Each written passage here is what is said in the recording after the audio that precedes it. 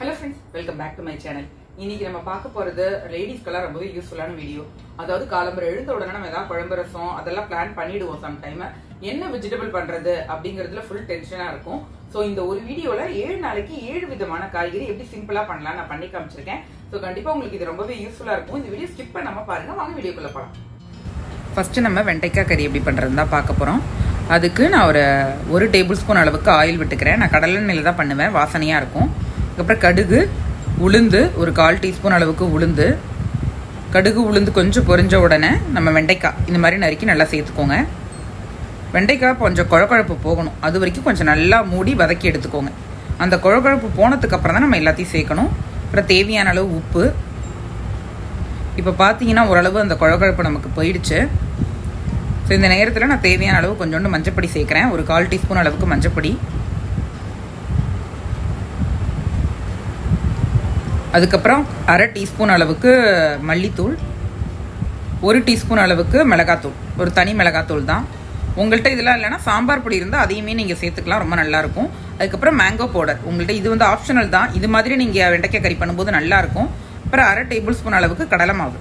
இதெல்லாம் சேர்த்து நல்லா மிக்ஸ் பண்ணி விட்டிங்கன்னா அந்த கடலை மாவு அந்த சில்லி பவுடர்லாம் சேரும்போது ரொம்ப நல்லாயிருக்கும் அதெல்லாம் சேர்த்து நல்லா மிக்ஸ் பண்ணிவிட்டு அதை பச்சை வாசனை போனோன்னா ஒரு தேங்காய் திருவண்ண தேங்காய் போட்டு எடுத்திங்கன்னா வெண்டைக்காய் கறி சூப்பராக ரெடி ஆகிடுங்க கிறிஸ்பியாக அந்த கடலை மாவு தேங்காயோடு சேரும்போது ரொம்ப டிஃப்ரெண்ட்டாக இருக்கும். கண்டிப்பாக ட்ரை பண்ணி பாருங்கள் அடுத்தது நம்ம பார்க்க போகிறது புடலங்காய் கறி தான். அதுக்கு புடலங்காயை நல்லா க்ளீன் பண்ணிவிட்டு நடுவில் உள்ள இந்த பார்ட்டை எடுத்துருங்க. எடுத்துகிட்டு இந்த மாதிரி கட் பண்ணி எடுத்துக்கோங்க. நீங்கள் எந்த மாதிரி இது மாதிரி கட் பண்ணால் உங்களுக்கு புடலங்காய் பொரியல் பண்ணுறதுக்கு ரொம்ப ஈஸியாக இருக்கும். உங்களுக்கு வேறு ஏதாவது ஷேப் வேணும்னாலும் அந்த ஷேப்பில் நம்ம கட் பண்ணிக்கலாம்.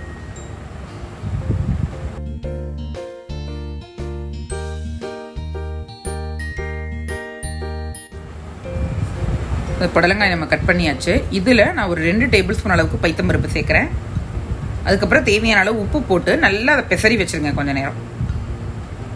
அந்த பைத்தம்பருப்பு அந்த உப்போட அதை நல்லா பெசரி வச்சுருங்க. அதுலேயே கொஞ்சம் தண்ணி கூத்துக்கும் உங்களுக்கு அந்த புடலங்காயில். ஒரு பத்து நிமிஷம் பெசரி வச்சதுக்கப்புறம் இப்போ கடாயில் எப்பொழுதும் போல் நான் ஒரு ரெண்டு டேபிள் ஸ்பூன் அளவுக்கு எண்ணெய் விட்டுக்கிறேன். இப்போ கடுகு அதுக்கப்புறம் உளுந்து ஒரு ரெண்டு டீஸ்பூன் அளவுக்கு உளுந்து. அந்த உளுந்து கொஞ்சம் கலர் சேஞ்ச் ஆகணும். கலர் சேஞ்ச் ஆகணும்னா கருவேப்பிலை வத்த மிளகா இது ரெண்டு சேர்க்குறேன். அவ்வளோதான் இப்போ இந்த நம்ம புடலங்காய் பெசரி வச்சோம்ல அதை கொஞ்சம் புழிஞ்சு சேருங்க. ஏன்னா உங்களுக்கு தண்ணி இருக்கும் அடியில். அதனால் கொஞ்சம் புழிஞ்சு சேர்த்துக்கோங்க. தண்ணியோடு சேர்த்திங்கன்னா குழஞ்சிரும் புடலங்காய் நமக்கு. அதனால் அந்த குழையாமல் வரணும்னா நல்லா புழிஞ்சு சேர்த்துக்கோங்க. அந்த பைத்தம்பருப்பு கொஞ்சம் ஊறி இருக்கும் அதனால் இது மாதிரி நம்ம இப்போ வறுத்து எடுக்கும் போதே நல்லா வெந்துடும் பைத்தம்பருப்பு கொஞ்சோண்டு மஞ்சப்பொடியை போட்டு நல்லா மிக்ஸ் பண்ணிவிட்டு மூடி வச்சுருங்க உங்களுக்கு. இந்த புடலங்காய் வேகிறதுக்கு மட்டும் நம்ம தண்ணியை இப்போ தெளிக்க போகிறோம் தண்ணியை விடாமல் லைட்டாக தெளித்தா போதும். அந்த புழிஞ்ச தண்ணி இருந்தாலும் நீங்கள் தெளிச்சுக்கலாம் இல்லைனா நார்மல் தண்ணி இருந்தாலும் லைட்டாக தெளிச்சுக்கோங்க. இப்போ அந்த தண்ணியை நம்ம தெளிச்சிருக்கோம் இல்லையா? அதுலேயே அந்த புடலங்காய் நல்லா ஸ்டீமாக நல்லா வெந்துடும் நமக்கு. அப்பப்போ எடுத்து கிளறி விட்டுக்கோங்க. ஏன்னா அடி பிடிக்காமல் இருக்கும். அதனால் அப்பப்போ எடுத்து கொஞ்சம் கிளறி விட்டுக்கோங்க புடலங்காயை. பைத்தம்பருப்பு ஆப்ஷன் உங்களுக்கு பைத்தம்பருப்போட செஞ்சால் புடலங்காய் ரொம்ப நல்லாயிருக்கும் அப்படி இல்லைனா தேங்காயும் போட்டுக்கலாம். நான் கடைசியில் தேங்காயும் போடுவேன். சில புடலங்காய் கொஞ்சம் முத்தலாக இருக்கும். சில புடலங்காய் பிஞ்சாக இருக்கும். சீக்கிரம் வெந்துடும் அதனால் அந்த புடலங்காய் அளவுக்கு தண்ணி விட்டுக்கோங்க பார்த்துட்டு. இப்போ நான் தேங்காய் பச்சை மிளகா கருவேப்பிலை. இது மூணுத்தையும் லைட்டாக ஒரு சுற்றி சுற்றி நான் அதில் சேர்க்க போகிறேன் எனக்கு கொஞ்சம் வாசனையாக இருக்கும். கருவேப்பிலை பச்சை மிளகாயெல்லாம் அரைச்சி சேர்க்கும் போது வாசனையாக இருக்கும். புடலங்காய் இப்போ நல்லா வெந்துடுத்து இந்த நேரத்தில் அந்த அரைச்சதை சேர்த்து ரெண்டு மிக்ஸ் பண்ணி எடுக்க வேண்டியதான் நம்ம. இது ஒரு பச்சை வாசனை போகணும்லாம் இல்லை. ஒரு அஞ்சு நிமிஷத்துக்கு நல்லா மிக்ஸ் பண்ணி எடுத்துனீங்கன்னா சூப்பரான புடலங்காய் கறி நமக்கு இப்போ ரெடி ஆகிடும் உப்பு பத்தலைன்னா தேவையான அளவு உப்பு போட்டு நல்லா மிக்ஸ் பண்ணிக்கோங்க.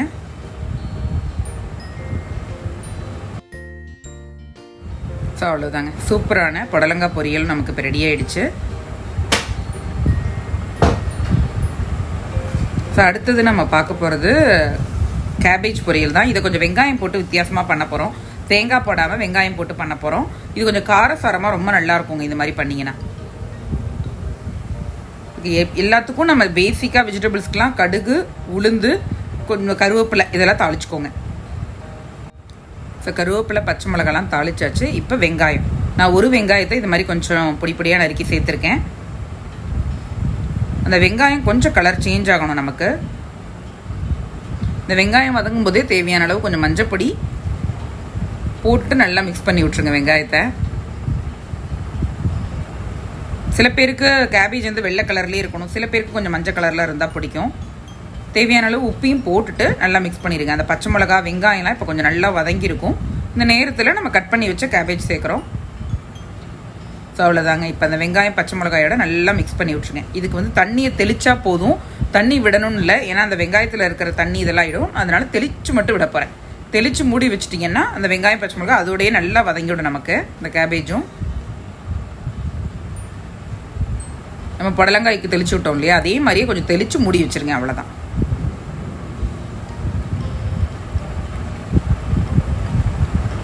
அந்த கேபேஜ் கொஞ்சம் வெந்திருக்கும். அதுக்கப்புறம் தான் நம்ம இதுக்கு தேவையான பொடியெல்லாம் சேர்க்க போகிறோம் இப்போ ரெண்டு டீஸ்பூன் அளவுக்கு மல்லித்தூள் அப்புறம் ஒரு டீஸ்பூன் அளவுக்கு சில்லி பவுடர் ஏன்னா பச்சை மிளகா சேர்த்துருக்கோம் அதனால் சில்லி பவுடர் பார்த்து சேர்த்துக்கோங்க. அவ்வளோதாங்க இது ரொம்ப வாசனையாக இருக்கும். இந்த வெஜிடபிள் ரொம்ப ஈஸியாக பண்ணிடலாம் ரொம்பவே டேஸ்ட்டாக இருக்கும். தேங்காய் போட்டும் பண்ணலாம். இந்த மாதிரி வெங்காயம் போட்டு போடும்போது இன்னும் கொஞ்சம் டிஃப்ரெண்ட் டேஸ்ட்டாக இருக்கும் நமக்கு. அந்த மல்லித்தூள் வா பச்சை வாசனை போகிற அளவுக்கு நல்லா பெரட்டி எடுத்துட வேண்டியதான் அவ்வளோதான் இப்போ கேபேஜும் வந்து நல்லா வெந்திருக்கும் நமக்கு. அந்த வெங்காயத்தோடு சாப்பிடும்போது ரொம்பவே நல்லாயிருக்கும் ஸோ கண்டிப்பாக கேபேஜ் இது மாதிரி ட்ரை பண்ணி பாருங்கள்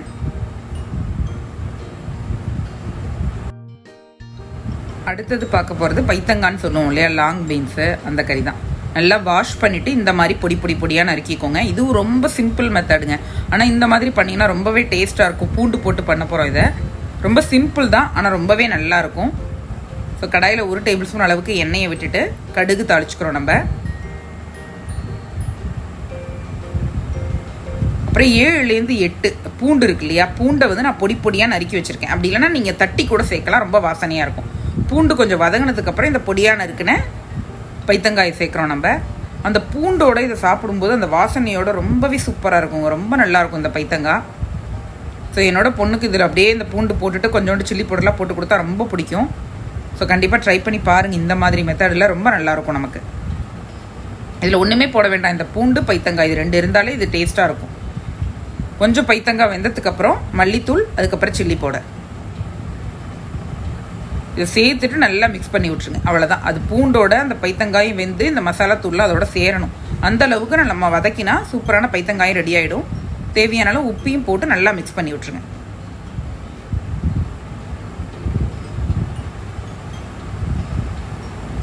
இதில் வேணும்னா உங்களுக்கு கடைசியில் திருவண்ண தேங்காய் சேர்க்கலாம்.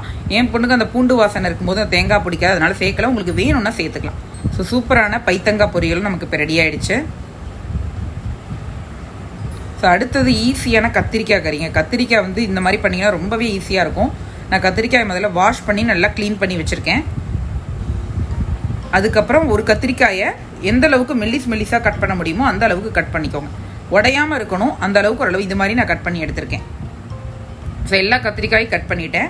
இப்போ இந்த கத்திரிக்காயிலே நம்ம என்ன பண்ண போகிறோம்னா மல்லித்தூள் அதுக்கப்புறம் உங்களுக்கு சில்லி பவுடர் இதெல்லாம் தேவையான அளவு காரம் உங்களுக்கு ஏற்ற மாதிரி போட்டுக்கோங்க. நான் ஒரு மூணு டீஸ்பூன் அளவுக்கு சில்லி பவுடர் போடுறேன். அப்புறம் தேவையான அளவு உப்பு பெருங்காய பொடி இதை போட்டுட்டு இதை நல்லா மிக்ஸ் பண்ணி விட்ருங்க உங்கள்கிட்ட சாம்பார் பொடி இருந்தால் சாம்பார் பொடியை நீங்கள் சேர்த்துக்கலாம். எங்கிட்ட வந்து அந்த அரைச்ச பொடி இருக்கும். கொத்தமல்லி வர கடலைப்பருப்பு ஒத்த மிளகா. எப்பொழுதுமே இந்த பொடி இருக்கும். அந்த பொடி கொஞ்சம் சே சேர்ப்பேன் நான். ரொம்ப வாசனையாக இருக்கும். இல்லைனா சாம்பார் பொடி சேர்த்துக்கலாம் நீங்கள் அதை சேர்த்து கத்திரிக்காய் கறி பண்ணும்போது நல்ல வாசனையாக இருக்கும். இது நல்லா எல்லாத்தையும் பெரட்டி ஒரு பத்து நிமிஷம் வச்சுருங்க. ஒரு பத்துலேருந்து இருபது நிமிஷம் நீங்கள் தனியாக எடுத்து வச்சுருங்க. அதுக்கப்புறம் நீங்கள் எண்ணெயை விட்டு கலர்னீங்கன்னா ஒரு ஃபிஃப்டீன் டுவெண்ட்டி மினிட்ஸில் கத்திரிக்காய் கறி சூப்பராக ரெடி ஆகிடுங்க ஒரு பத்து பதினஞ்சு நிமிஷம் தான் ஆகும் வதங்குறதுக்கு உங்களுக்கு. எண்ணெயில் கடுகு உளுந்து கருவேப்பிலை. எப்பொழுதும் போல நம்ம தாளிக்கணும்.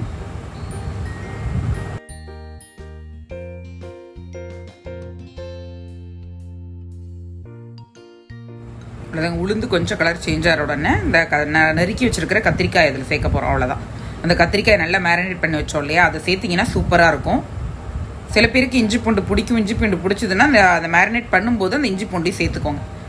நான் கத்திரிக்காயில் இஞ்சி பூண்டு சேர்க்க மாட்டேன். ஸோ இது மாதிரி நீங்கள் அந்த எண்ணெய் தேவை எண்ணெய் வந்து இன்னும் கொஞ்சம் தேவைப்பட்டதுன்னா எண்ணெயை விட்டு இது மாதிரி வதக்கி எடுத்தீங்கன்னா ஒரு ஃபிஃப்டீன் மினிட்ஸில் சூப்பரான கத்திரிக்காய் பொரியல் நமக்கு ரெடி ஆகிடும் ரெண்டு பக்கமும் நல்லா செவந்து வரணும். அந்த அளவுக்கு நல்லா பெரட்டி எடுத்துருங்க. இந்த மாதிரி நம்ம எல்லா பொடியும் தூவிட்டு அதுக்கப்புறம் இதில் போட்டோம்னு வச்சுக்கோங்களேன் ரொம்ப ஈஸியாக வேலை முடிஞ்சிடும் உங்களுக்கு. ஒரு இருபது நிமிஷம் அதில் ஊறி இருக்கும்.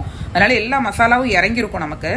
ஸோ கண்டிப்பாக கத்திரிக்காய் கறி இது மாதிரி ட்ரை பண்ணி பாருங்கள் ரொம்பவே நல்லாயிருக்கும் ஸோ இப்போ நல்லா சுண்டி நமக்கு வந்துருச்சு. அந்த கத்திரிக்காய் வந்து நல்லா சுண்டி உடையக்கூடாது. உடையாமல் கண்ணுக்கும் தெரியணும். அந்த அளவுக்கு சூப்பராக வந்துருச்சு நமக்கு கத்திரிக்காய் கறி இப்போ. அந்த மசாலாலாம் அங்கங்கே ஒட்டி இருந்துச்சுன்னா நல்லா எடுத்து விட்டுருங்க. அது கத்திரிக்காய் கறியோட நல்லா மிக்ஸ் ஆனால் தான் சூப்பர் டேஸ்ட்டாக இருக்கும் நமக்கு. ஸோ கண்டிப்பாக கத் கத்திரிக்காய் கறி இது மாதிரி ட்ரை பண்ணி பாருங்கள் ரொம்ப ஈஸியான வேலைங்க. நீங்கள் மேரினேட் பண்ணி வச்சிட்டிங்கன்னா ஒரு இருபது நிமிஷத்தை வச்சுட்டு அதுக்கப்புறம் நீங்கள் வதக்கி எடுத்துனீங்கன்னா சூப்பராக ரெடி ஆகிடும் பாருங்கள் ரெண்டு பக்கமும் நல்லா செவந்து சூப்பரான கத்திரிக்காய் கறி ரெடி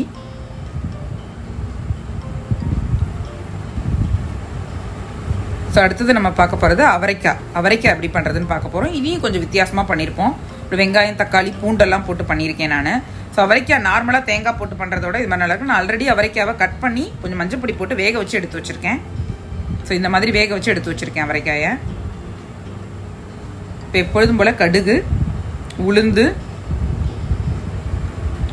ஜீரகம் கொஞ்சோண்டு போடுங்க. இந்த அவரைக்காவோட அந்த ஜீரகம் நல்லா வாசனையாக இருக்கும். கருவேப்பிலை பச்சை மிளகா அப்புறம் ரெண்டு வத்த மிளகா. அப்புறம் நான் பூண்டை ஒரு ஆறு ஏழு பல்லு பூண்டை வந்து நல்லா நசுக்கி தட்டி எடுத்து வச்சுருக்கேன். அந்த பூண்டையும் சேர்த்துருங்க. அதுக்கப்புறம் பொடியான இருக்கிற ஒரு வெங்காயம். வெங்காயம் கொஞ்சோண்டு இருந்தால் போதும். அந்த பூண்டு வாசனைக்கு இந்த அவரைக்காய் ரொம்பவே நல்லாயிருக்கும் அந்த வெங்காயம் பூண்டுலாம் அந்த எண்ணெயில் நல்லா வதங்கியிருக்கும். அதில் தேவையான அளவு உப்பை போட்டுட்டு இந்த பூண்டு பாருங்கள் கொஞ்சம் கலர் சேஞ்ச் ஆகிருக்கும் நமக்கு. இப்போ ஒரு ப்ரௌன் கலராக இருக்கும். அப்போ தான் அந்த வாசனை அவரைக்காயில் ரொம்ப நல்லாயிருக்கும் தக்காளி. ஒரே ஒரு தக்காளி மட்டும் சேர்த்துக்கோங்க. இது கொஞ்சம் ஜூஸியாக இருக்கும். அந்த அவரைக்காயோட அந்த பெரட்டி வரும்போது நல்லாயிருக்கும் உங்களுக்கு. உங்களுக்கு வேண்டானா தக்காளி அவாய்ட் பண்ணிக்கலாம். பட் தக்காளி சேர்க்கும் போது அந்த புளிப்போட டேஸ்ட் நல்லாயிருக்கும். இப்போ இதில் நம்ம மசாலா தூள்லாம் சேர்க்க போகிறோம் மல்லித்தூள் அப்புறம் கா சில்லி பவுடர் நான் ஒரு ஒரு டீஸ்பூன் தான் சேர்த்துருக்கேன். ஏன்னா பச்சை மிளகா வத்த மிளகா சேர்த்துருக்கேன். ஆல்ரெடி காரம் இருக்கும். அதனால சும்மா ஒரு டீஸ்பூன் ஒரு டீஸ்பூன் தான் மல்லித்தூளும் சில்லி பவுடரும் சேர்த்துருக்கேன். இந்த மசாலா தூளோட பச்சை வாசனை போகணும். அப்புறம் திருவண தேங்காயும் இதுலேயே சேர்த்துருங்க. கடைசியில் சேர்க்கணும் இல்லை இதுலேயே சேர்த்துட்டு அதுக்கப்புறம் நீங்கள் அவரைக்காய் போட்டிங்கன்னா நல்லாயிருக்கும். இதெல்லாம் சேர்ந்து வரணும் உங்களுக்கு. இப்போ கொஞ்சோண்டு தண்ணியை விட்டு இது நல்லா கொஞ்சம் சேர்ந்து வரணும். அது வரைக்கும் ஒரு ரெண்டு நிமிஷம் கொதிக்க விட்டால் போதும். அதுக்கப்புறம் நம்ம அவரைக்காவை சேர்த்துடலாம். தேங்காய் இப்போ போட்டாலும் நல்லாயிருக்கும். கடைசியில் போட்டாலும் நல்லாயிருக்கும். இப்போ போட்டால் அந்த மசாலாவோட நல்லா இறங்கியிருக்கும் நமக்கு. இப்போ ஆல்ரெடி வேக வச்ச அவரைக்காயை நான் சேர்க்குறேன். கட் பண்ணி வேக வச்ச அவரைக்காவை அதில் சேர்க்குறேன். இது ஆல்ரெடி எல்லாம் மிக்ஸ் பண்ணி வரும்போது இந்த அவரைக்காவை சேர்த்து ரொம்ப நேரம் நம்ம வதக்கணும்னு இல்லை. ஒரு அஞ்சு பத்து நிமிஷம் வதக்கி எடுத்தோம்னா அவரைக்காய் கறி சூப்பராக ரெடி ஆகிடுங்க அங்கங்கே அந்த பூண்டு கிடைக்கும் வாயில். ரொம்ப நல்லா இருக்கும் உங்களுக்கு. அந்த உளுந்தெல்லாம் க்ரன்ச்சியாக கிடைக்கும் போது ஒரு வித்தியாசமாக சூப்பராக இருக்கும். உப்பு பத்தலைன்னா தேவையான அளவு உப்பையும் போட்டு நல்லா மிக்ஸ் பண்ணி விட்டுருங்க.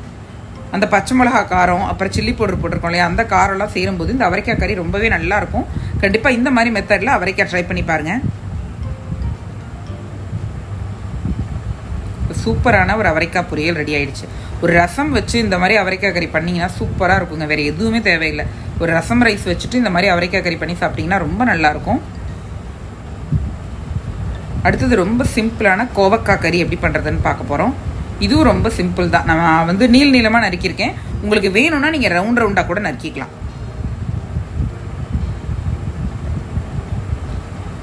ரெண்டு பக்கமும் கட் பண்ணிவிட்டு நான் நீள நீளமாக நறுக்கியிருக்கேன். கொஞ்சம் தின் தின்னாக நறுக்கியிருக்கேன்.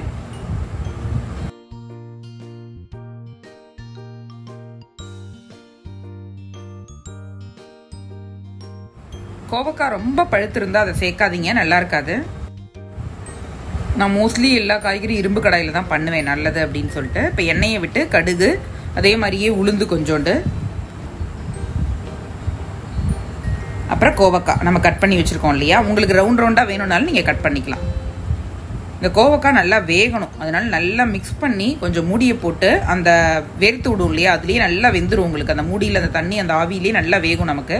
அது வரைக்கும் நம்ம வெயிட் பண்ணணும். இந்த பாருங்கள் இதுலேயே கொஞ்சம் வெந்துகிட்டே இருக்கும். கொஞ்சம் வெயிட் பண்ணி நல்லா வேக விடணும். அப்போ தான் அது சாப்பிடும்போது நல்லா இருக்கும் கோவக்காய் நமக்கு. அதுக்கு முன்னாடி இதுக்கு ஒரு பவுடர் ரெடி பண்ண போகிறோம் அதுக்கு நான் ஒரு டேபிள் ஸ்பூன் அளவுக்கு கடலை மாவு சேர்த்துக்கிறேன். அப்புறம் நாலு டீஸ்பூன் அளவுக்கு சில்லி பவுடர் உங்கள் காரத்துக்கு ஏற்ற மாதிரி சேர்த்துக்கோங்க. அப்புறம் கொஞ்சோண்டு மல்லித்தூள். அப்புறம் ஒரு டீஸ்பூன் அளவுக்கு மஞ்சப்பொடி. இது எல்லாத்தையும் மிக்ஸ் பண்ணி அதில் சேர்க்க போகிறோம் ரொம்பவே நல்லாயிருக்கும் மிக்ஸ் பண்ணி சேர்த்திங்கன்னா. உங்களுக்கு கரம் மசாலா வாசனை பிடிச்சதுன்னா அதையும் சேர்த்துக்கலாம். ஜீரகத்தூள் இதெல்லாம் சேர்த்துக்கலாம் உங்களுக்கு. நான் பேசிக் மசாலா மட்டும்தான் சேர்த்துருக்கேன் வீட்டில் இருக்கிறத.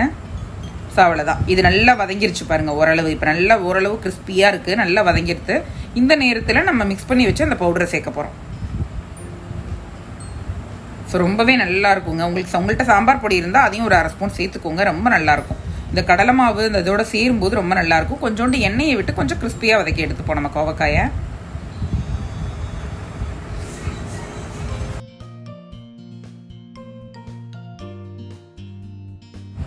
அந்த போட்டிருக்கிற அந்த பொடியோட நல்லா வதங்கிடுச்சு இப்போ கோவக்காய் கடைசியில் நம்ம கொஞ்சோண்டு தேங்காய் திருவி போட்டு இறக்க வேண்டியதான் தேங்காய் ஆப்ஷனல் பட் தேங்காய் போட்டிங்கன்னா கோவக்காயோட அந்த மசாலா அந்த தேங்காயெல்லாம் சேரும்போது ரொம்பவே நல்லாயிருக்கும் கோவக்காய் கறி. ஸோ ரொம்பவே ஹெல்த்தியான ஒரு கோவக்காயில் வெஜிடபிள் ரெடி ஆகிடுச்சு சில பேருக்கு கோவக்காய் பிடிக்காது பட் இந்த மாதிரி நீங்கள் கொடுத்து பாருங்கள் ரொம்ப நல்லாயிருக்கும் அந்த கடலை மாவெல்லாம் சேரும்போது அதில் ரொம்ப டேஸ்ட்டாக ரொம்ப நல்லாயிருக்கும் அந்த தேங்காயோட வரும்போது. ஸோ கண்டிப்பாக இந்த மாதிரி கோவக்காய் கறி ட்ரை பண்ணி பாருங்கள்